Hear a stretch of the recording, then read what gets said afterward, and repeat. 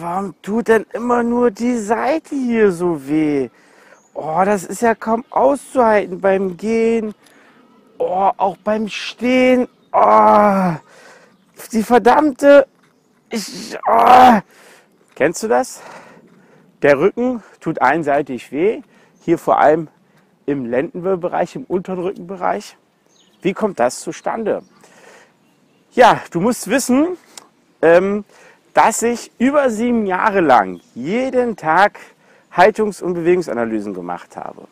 Und habe natürlich immer Notizen gemacht. Und daraufhin habe ich Trainingsprogramme erstellt.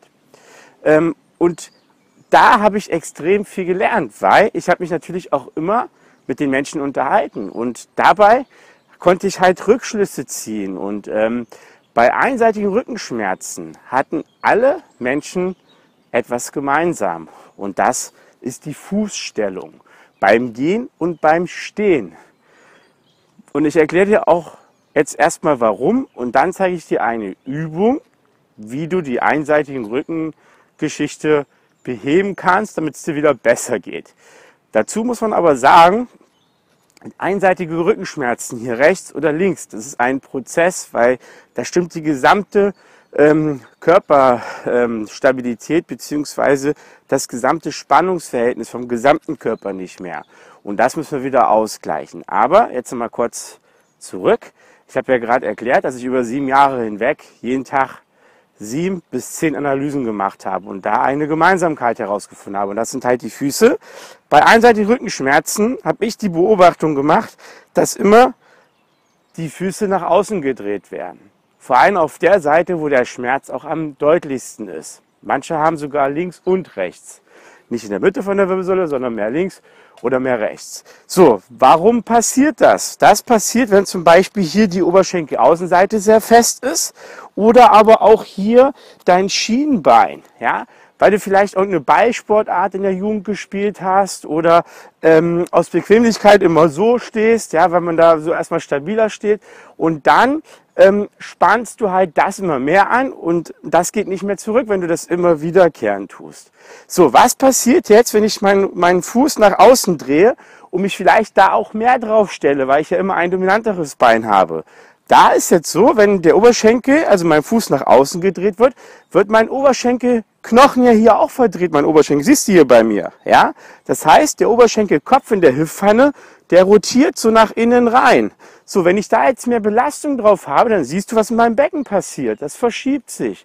Und somit verschiebt sich auch hier alles. Das heißt, die eine Seite wird, ist permanent unter Spannung und das wird immer fester. Gerade ähm, wenn du meinen Thumbnail gesehen hast, da habe ich dir mal ja, den unteren Rücken, die Rückenfaszie mit eingeblendet und habe sie da gelb markiert. Der Bereich, der verspannt richtig fest. Und genau in dem Segment kommt ja der Ischiasnerv aus der Lendenwirbelsäule raus, aus dem Rückenmarkskanal. Ja? So, und der wird dann gestört. Und das kann halt dann diese fiesen, heftigen Schmerzen geben.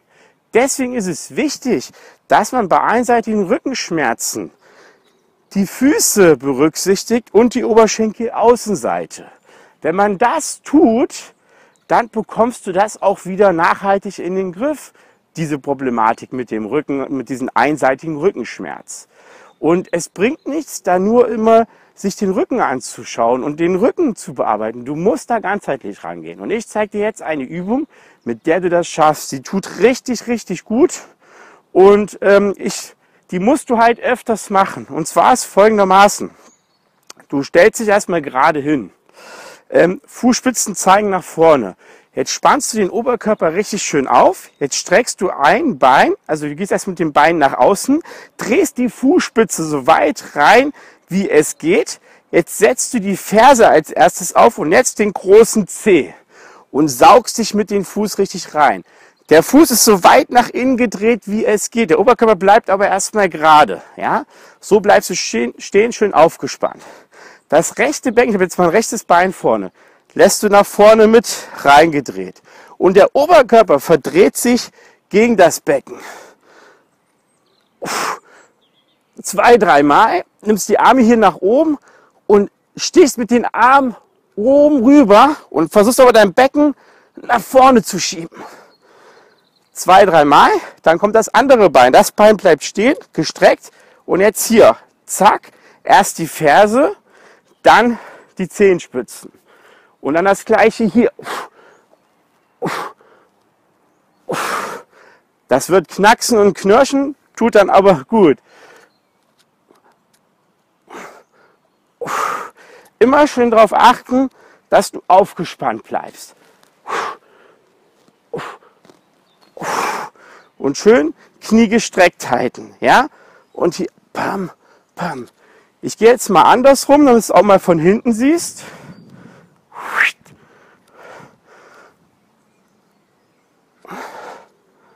Erst die Ferse, dann den großen Zeh.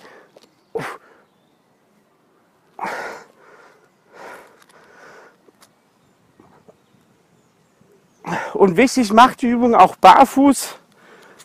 Dann wirkt sie halt noch viel, viel besser. Ja?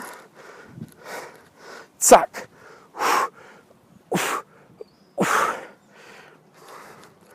Und dann, wenn du die Übung machst, kann das erstmal natürlich der Bereich, wo du da die Probleme hast, die einseitigen Rückenschmerzen, da kannst du das natürlich erst ein bisschen besonders merken.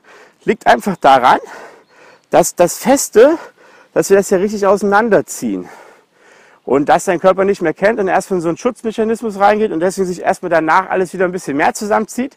Das ist aber insbesondere nur nach dem ersten ein, zwei Mal der Fall. Dann hat sich dein Körper daran gewöhnt, weiß, das passiert nichts.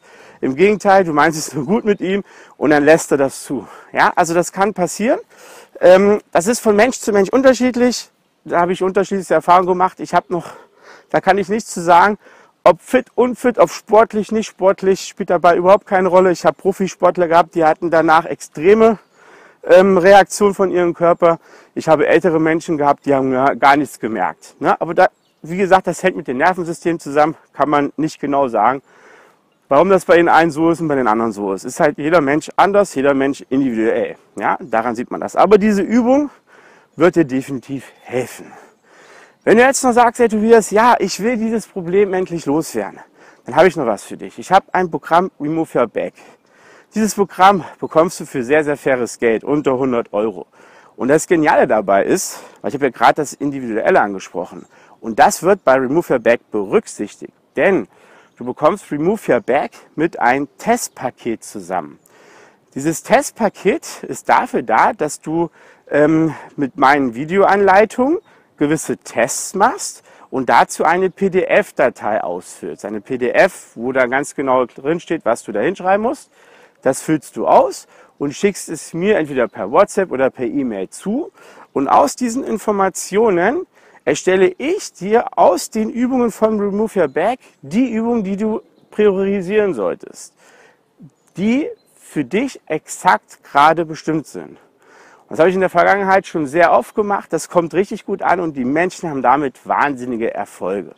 Also, wenn du ein Rückenlein hast, ob das jetzt hier so einseitige Rückenschmerzen sind, ob das hier so Eingeschnürtheitsgefühle sind, hol dir Remove Your Back und Du bekommst damit wirklich eine glasklare Anleitung, damit es dir bald besser geht und du wieder mehr Lebensqualität erreichst. Weil, sind wir doch mal ehrlich, es geht nicht darum, Schmerzen wegzubekommen.